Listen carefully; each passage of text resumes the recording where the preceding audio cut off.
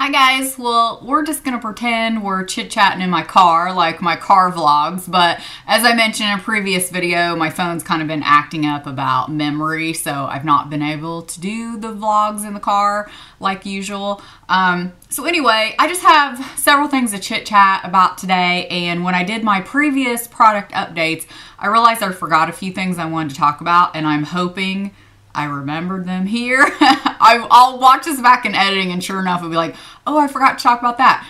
If you know of something that I'm forgetting to talk about, leave me a comment below and I'll try to answer you directly or, you know, mention it. Um, so first of all, in my Sephora haul, I put that I bought a couple of texturizing sprays. The Bumble and Bumble one I actually have in my toiletry bag because I took that with uh, me to Charleston last weekend. I like it pretty good, but I actually think I like this one better. This is the Triple Sec um, from Drybar. And if some of you remember, I said I brought the dry shampoo from Drybar, and I hated the scent so much that I threw it in the trash. I used it like one time, was like, nope, that's going in the trash. It was this size, thankfully. Well, I actually really like this, um, but I think it might have the same scent or similar. Let's just say it doesn't drive me crazy like the dry shampoo. I mean, I could totally be nuts and it could be the exact same scent, um, when I first sprayed, like I sprayed it today when I um, curled my hair, which is already falling out, my hair will not hold curl anymore for the life of me. That's why you don't see it curled. I can curl it and it looks fine. I'll spray hairspray, texturizing, anything. I put product in it before. It will not hold anymore. I don't know what is going on. Um, and it's definitely, I have to keep turning the curling iron down because if it's too hot, that actually just like straightens my hair. It won't even curl at all. So I don't know what's going on. That's why I don't spend the time to curl it anymore. So anyway, I did use this today. It gave me a little bit of headache, I have to say, as soon as I sprayed it. Although we're supposed to get rain and my sinuses are kind of acting up, I noticed today. So that could just be a fluke. Um, anyway, I don't mind the scent of this one. I didn't turn the camera setting, um, the lighting on my camera up. Usually I do it like one more. Um, so I feel like it looks a little dark, but sometimes when I have that setting up, it looks almost sometimes too bright. So anyway, we'll just go with it since I'm not really showing anything in particular. So the NYX Brow Pencil. This is actually called the NYX Micro Brow Pencil. I got it in the color Taupe. I like the color of this. However, to me, and this may just be mine, I don't know. Those of you that have this, let me know if that's the case. Same thing as the Anastasia. It's like a really small pencil, has the spoolie at the end, which I love. Um, great spoolie. It's hard. It's a much harder formula than the Anastasia. The color's great though, I like it. But I just find my skin getting red when I'm trying to use it. Like I can basically make a line and like minor filling in, but I cannot fill in all over with this or my eyebrow is red um, and it looks terrible because like I said, the it's just a little too hard. It's not creamy like the Anastasia. Um, today, by the way, if you're wondering, I have the Taupe Dip Brow by Anastasia. So anyway, I wouldn't repurchase this again, but again, I like the color, just the formula, I don't think it's that great. Okay, that was driving me crazy. I had to change the setting. I know it makes like everything else really white, but I just feel like there's so much of a shadow here, which it's actually probably more true to color. Um, but anyway, I changed it. So if it looks funny throughout the video, but this is just one of those kind of chit-chatty videos. We're just going with it. Okay, the Too Faced Semi Sweet Chocolate Bar Palette. Um, I had mentioned that, I got this in the Sephora sale by the way. I mentioned that I had the original um, and returned it right away, just did not love it. A lot of the colors were way too warm. Most of you know I absolutely love the Too Faced Natural Eyes palette. I mean, I have the original. I purchased the repackaged one. This I cannot get into. I am wearing some of the shades today.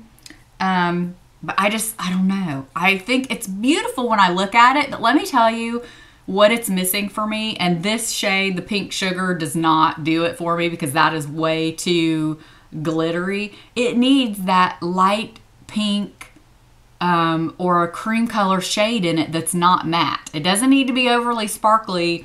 And like this is, is too warm of a pink. Like, I love the colors, even though when you look at it, there are a lot of warm colors, really. There's only a couple of neutrals. Um, and I like a mix of both. I'm not, you know, one way or the other. I actually likes to mix them on my eyes. That's usually what looks best on me. I just, I don't know, I'm having a hard time making looks with this that do not look really red and orange on me. A lot of colors uh, look that way on my eyes for some reason. So anyway, kind of having second thoughts about this so far. So while I was in Charleston, speaking that last weekend, I went in a really nice Walgreens and they had Milani products there. Now the display was fairly empty, so I don't know if it's one of those, it was picked over. It almost looked like though they're just starting to carry Milani. Uh, most of the time you see Milani in CVS, not Walgreens, but they had one each of these um, blushes. The This is Romantic Rose, you know, the ones that look like a rose. And this is the only one I thought looked pretty, but isn't that gorgeous? I've seen so many people use it and I really like it. So was happy to get this. I think that's it for some of the product updates. So speaking of Charleston, um, if you follow me on Instagram, then you all know uh, that's where we went last weekend. It was kind of a, you know, just get out of town for the weekend. Someplace we've been talking about visiting for a while, but also we kind of wanted to scout out the area for possible like relocation. It was actually on our list, um, might have been number two or three on our list before we moved here when we moved from Florida, which is actually coming up in July, will be five years ago. I mean, where has the time gone? I cannot believe we've lived here five years. So, anyway, um, there's a lot of kind of circumstance surrounding that that I won't, you know, really get into because y'all know I'm terrible about sharing personal information. But we've just really been talking about going somewhere else. For some reason, the last year, I wouldn't even say year, I would say since this last winter, I have really been craving living back on the coast again. Um, as many of you know, I came from the east coast of Florida, like the Cocoa Beach area. Um, we don't we know we wouldn't want to go back to that area. There's just not a lot of employment for my husband what he does. I mean that's why we left florida in general to begin with is for better opportunities you know for him. Um, and that kind of dictates where we would go as well. So we've kind of narrowed it down about possibly going back to florida but it would probably be on the west coast of florida.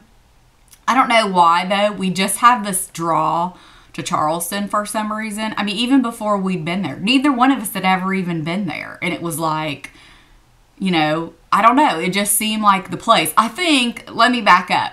So I think a lot of it is it's still in the South. Um, it's a lot farther south than here, even though it's north of Florida. So you still get some pretty decent weather. You know, I'm not expecting to see snow there, you know, every winter like we've had since we moved here, which I wasn't expecting here either. Um, but once you live in the South and everybody is so nice, at least where we live, I mean, we couldn't ask for nicer area to live in. It truly is a great area. Um, you know, it's hard not having that. And that's something I always talked about Florida. Florida is such a mix of people that live there that I don't know, it's just you notice it once if you ever you don't notice it so much maybe when you live there, but if you ever move away and come back, you notice it that it's just different. You know, I think you either ignore it or just get used to it when you live there. But every time we go back now, it's like, you know, people just are not that nice there. Now, of course, that's like a generalization. I'm not saying everybody's not nice, but you get what I mean. So, you know, Charleston just kind of seemed like the best of everything, like it'd still be in the South. I mean, you know, it's like the number one travel destination. People that live there love it. Matter of fact, if any of you live there, let me know how you like it, what areas you recommend. I actually got in touch with um, a blogger I know that lives there. She um, helped me out with some information. And then I've gotten in touch with a friend of mine on here about areas in Florida. So that has been totally consuming my thoughts. Um, it's been very hard for several weeks now um, because all my other videos have kind of been pre-recorded. I like recorded a whole bunch in one day and you know there for a couple weeks like I was just on a kick like of recording a whole bunch like in one or two days so I had them spread out. But this last week or so um, actually for several weeks, my mind has just been so consumed with the thought of possibly moving. I mean, we're not at that stage yet. We're just scoping things out, um, scoping areas out, possible jobs, you know, because that's really important for my husband. It, it needs to kind of be specific to what you know he does, his qualifications, all that kind of thing. But I've just really been craving um, you know, living back on the coast and it would be nice to be closer to family. That's why we, you know, it would be easy just to move back to Florida. Um, we just don't know if we'd be happy there because like I said, we moved from Florida for a reason. Um, and just job opportunities and stuff I don't know would be there. But, you know, as your parents get older and stuff too, you always kind of you know, it'd be nicer to be closer in case, you know, they need you or something. We do have other family in Florida. So, you know, we were talking, we've talked all this out between ourselves, but sometimes I think maybe it'd just be easier if I talk it out again to you all. Um, we have other family in Florida too, because so that would just seem like the instant um, no brainer, the easy thing to do. I mean, like I said, that's why we moved here because the jobs were really good, the pay was really good, you know, got you know, great ratings as far as um, lifestyle and things like that. And, you know, it has been nice. There are things we totally love about living here.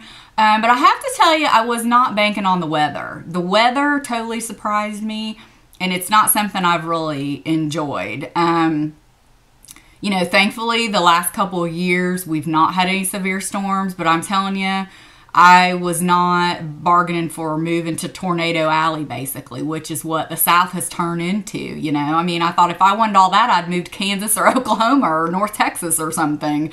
I mean, that is not what I'm used to. I grew up in the Midwest, and of course, in Florida, you know, you have tornadoes now and then, but they're small tornadoes, like flip a car, tear some shingles off your roof, not you know, devastate your house, tear it off the slab, you don't know where it's at. And until you've seen that in person, like we saw here that first year we lived here, you can't imagine what it's like. I mean, of seeing neighborhoods and stuff like totally gone. Like just gone. They're wiped out. I mean, it's insane. Nobody should ever have to see that or live, you know, in an area like that. It's so scary. So, and anyway, I mean, we've had snow then too. So it's like, what is with this? I thought I was moving to somewhere like mild weather. I mean, don't get me wrong. I do enjoy kind of having the four seasons again because you really don't have that in Florida. I mean, it doesn't get fall until like Halloween um, so I have enjoyed that, but I could do without the snow. I mean, it's pretty, and y'all know I take pictures and show you because it's just a rare thing here. Well, it used to be rare. It's not rare anymore. It seems to be normal. I honestly feel like I'm living back in Indiana. That's what the last couple winters have felt like. You know, I like to see it snow and then it can go as soon as it comes. You know, I'm over it. Um, but you know, like spring, when you live in the South, and those of you, you know, if you're like Tennessee, you know, Alabama, Georgia, you know, Mississippi, you know what I'm talking about. It puts you on edge a little bit when springtime comes. It's like you don't like spring necessarily because the potential bad weather comes with it. So that's just not something I've loved, and I would, you know, just not want to have to worry about that. Like people say, oh, well, in the Carolinas or Florida, you have hurricanes. Believe you me, I would take a hurricane any day over a tornado because a hurricane, you have warning. We've evacuated from plenty of hurricanes. And sure, your house may be gone or totally flooded, you know, or anything we get back, but it's not the same as fearing for your life inside the house. Now, if you're one of those crazy people that ride out a big hurricane, well, God help you, you know, that you're all right. But I would never do that. We leave, you know, we don't even put ourselves in harm's way for like a big hurricane. Um, cause that's just silly. And plus that, when you spend days in the house with no power from a hurricane and it's hot and there's nothing to do, oh my God, just give me a hotel room any day somewhere else. I'll, you know, I'll just take that. Believe me, it is, um, it's stressful, but the stress level and the anxiety level isn't anything like a tornado. So now that I've rambled about that, I just wanted to let you guys know kind of where my head's at. Like, I feel that pressure again like you know i don't want to not be making regular videos but i just feel like my mind is so consumed with the possibility and getting things ready and what to do. Like for several weeks now i've been going around the house. I mean you all know i purged my makeup collection but that's kind of been a yearly thing for me now the last couple years I mean, I just go in every room, and when you're thinking about selling your house, you have to look at it totally different. You know, you have to step back, and you know, we've sold two homes, a condo, and our home in Florida now, so I feel like you know, I know what I'm doing with this a little, but you know, I just go in every room and I take notes of things that I want to change or maybe needs fixed. You know, things that you, when you live in a house, you're like, oh, you know, you just keep ignoring maybe. But then, you know, if you're thinking about showing it, so um, for several weeks, we've been doing that. Um, just all those kind of things. That's what's on my mind. Um, I feel like I've had a hard time concentrating for months anyway. And it was so funny when I went to my endocrinologist a couple weeks ago. He asked me that because I said, you know, I'm starting to have symptoms again. Like I've gained a little bit of weight. I don't know if y'all can tell in pictures, but you know, I'm not sleeping as well. Um, you know, all the things that he always asks, you know, when I'm in there that up until March had been fine. But like the beginning of March since where I'm just not feeling good because of my thyroid acting up. Um, most of the time it's been fine though, but it is acting up a little again with symptoms. And then with this, um, it kind of you know, just, I don't know, it's like I can't get in the right headspace. Like, I have plenty of videos I talk about and I write notes of videos I want to do, but it's like if you're not in the right frame of mind, you can't talk about them. I mean, I could have a hundred videos that I need to film, but it's like, you know, for those of you that make videos, you know what I mean. It's like you have to be in that right frame of mind, or it totally shows on camera. You can't just get on camera and, you know, my emotions show. I'm one of those people that, you know, I can't fool anybody if I'm having a bad day or something.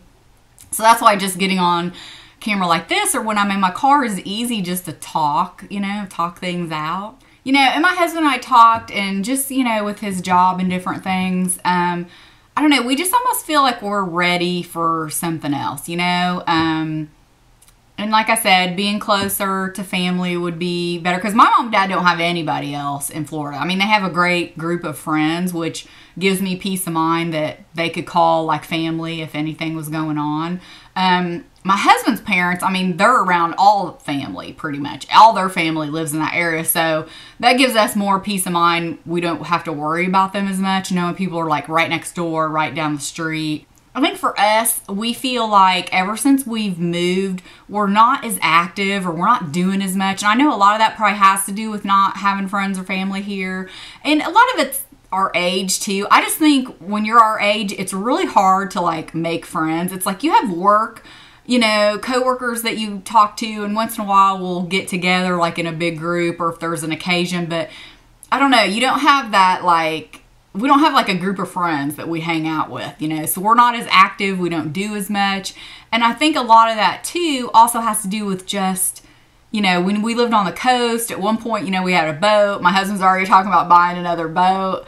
Um, you know, he likes to go fishing and just you know things around the water you know i mean i could just sit and look at the water you know but it's so funny that we were so ready for something else when we moved from florida because we had lived there so long that now that we've lived here it's like okay we really like it here. And honestly if this was a little if this was closer to the coast and closer to family this would be perfect. It's just missing a few things. Oh my god and allergies. I didn't say that if y'all live in this area, you know allergies here are some of the worst in the entire country. And I'm not joking, like you can look it up. It's a fact. It just makes you feel so tired and so like, you know, your eyes are always red, you're having to cover up. I mean, it was so funny because when we went to Charleston that whole weekend, I barely had to cover up any of my allergy darkness because it just wasn't there.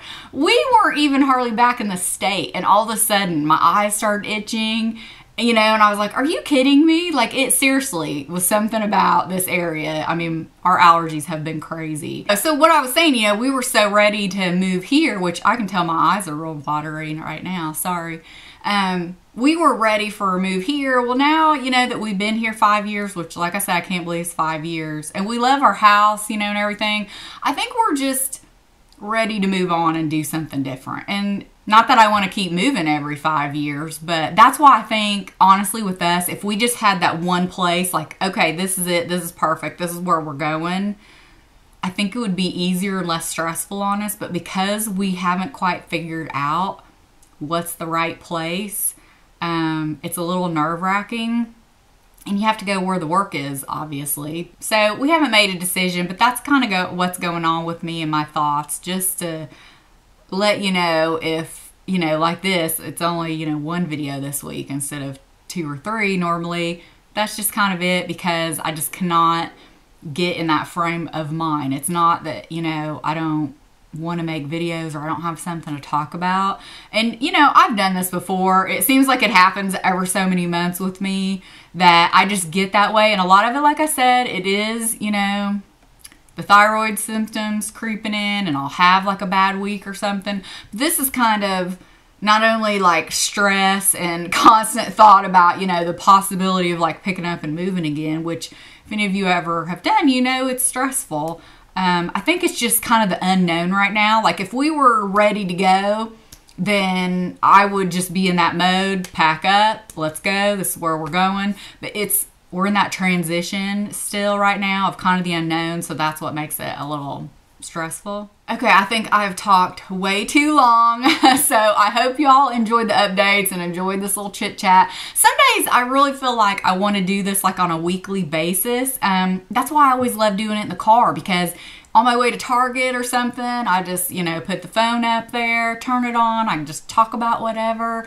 I just got to figure out the phone thing. I mean, I've deleted most of my pictures, I've deleted text. I don't know what's going on with it. I could try using my, um, you know, vlogging camera that I do for like what's for dinner and stuff like that. Which, by the way, what's for dinner has been really boring lately, so I have not even bored you all with what we're eating. It's one of those we might know two nights what we're having, and then it's been up in the air. So, um, oh, and I am planning on doing a blog post on our trip to Charleston, like just showing some pictures and where we went, where we ate um, things like that. So I'll be sure to let you know when that's up. So as usual with my vlogs or car chats, chit chats, they're all over the place just as my mind starts going. But I appreciate you guys taking the time to watch and I will talk to you next time.